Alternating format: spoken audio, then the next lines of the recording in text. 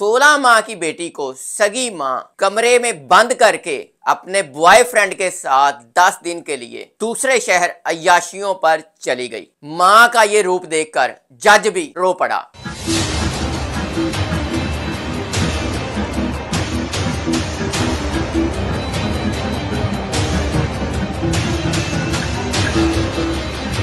बिस्मिल्लाहिर्रहमानिर्रहीम अस्सलाम वालेकुम प्यारे नाजरीन। सगी माँ का ऐसा भयानक रूप पहले आपने कभी नहीं सुना होगा। सोलह माह की बेटी को सगी माँ कमरे में बंद करके अपने बॉयफ्रेंड के साथ दस दिन के लिए दूसरे शहर अयाशियों पर चली गई। बेटी अकेली कमरे में तरसती रही, मगर माँ को तरस ना आया। बेटी के बारे में किसी को ना बताया, ना महल्लेदारों को ना ही किसी रिश्तेदार को। यार के साथ दस दिन अयाशियाँ करने के बाद जब माँ घर वापस आई तो बच्ची किस हालत में थी, कहाँ जा चुकी थी, और उसके बाद माँ ने क्या ड्रामा रचाया? माँ का ये रूप देखकर जज भी रो पड़ा।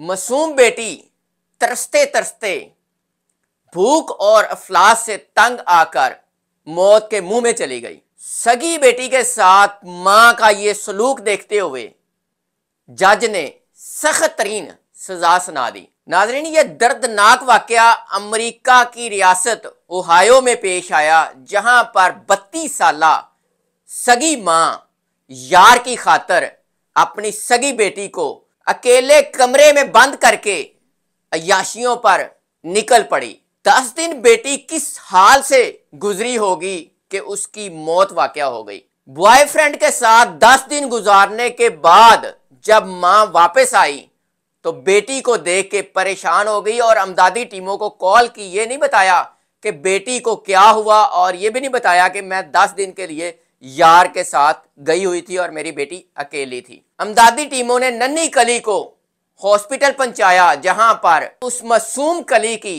मौत की तस्दीक हो गई।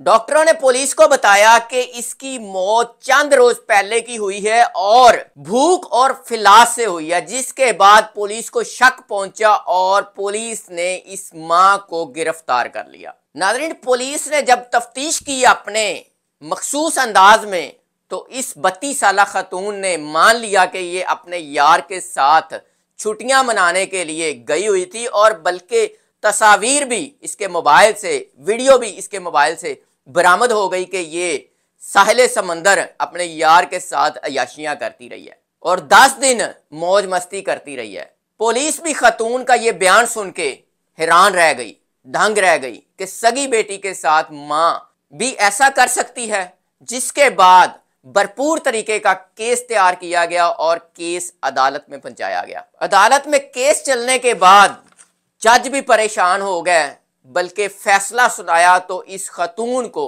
उम्र कैद की सजा सुना दी गई। और ये फैसला जज साहिबान ने रोते हुए सुनाया कि सगी बेटी वो भी 16 माह की, और उसके साथ सगी माँ ने यह सलूक किया कि अपने यार पे सगी बेटी की जान कुर्बान कर दी। नाजरीन, सगी माँ की अयाशियों की ये तस्वीर भी मुलायजा फरमाए कि किस तरह सगी माँ अपनी बेटी को छोड़ के अयाशियाँ करती रही। ये तस्वीर इस बात की गवाह है कि सगी बेटी पे तरस ना आया, बल्कि यार को राज़ी करने के लिए। ये टहलती रही, साहले समंदर फिरती रही और मुख्तलिफ़ जगहों पे रातें गुजारती रही। नाजरीन, इस माँ ने अदालत के सामने भी ये तस्लीम किया कि बिल्कुल ऐसे ही था, बल्कि ये कहा कि मैं बहुत दुखी हूँ मुझे अंदाज़ा नहीं था कि मेरी बेटी मेरे आने तक मौत के मुँह में जा चुकी होगी और अदालत के सामने ड्रामा रचाती रही कि मेरा कसूर ने मुझे माफ़ कर दो। नाजरीन, आप भी अपनी राय का इजहार कीजिएगा कि ऐसी माँ के लिए आप क्या कहते हैं जिसको नन्नी कली पर तरस आया?